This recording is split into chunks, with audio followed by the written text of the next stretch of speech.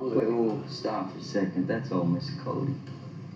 Make you remember old Mrs. Cody? Of course I do. Of course. Oh, look at her. Pardon me, Mrs. Cody, but I think I smell a little shepherd's pie sneaking out of that bag there. Am I right? Hey, look and breathe, it's Jimmy. It is. When did you get out of Alcatraz? Oh, uh, that's nearly 10 years ago now, Mrs. Cody. Oh, More than a minute. well, it's wonderful to have you back in the neighborhood, son. You remember Mickey, don't you?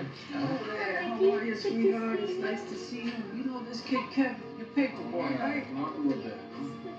Make sure everything gets put away nice, you know? She got everything she needs.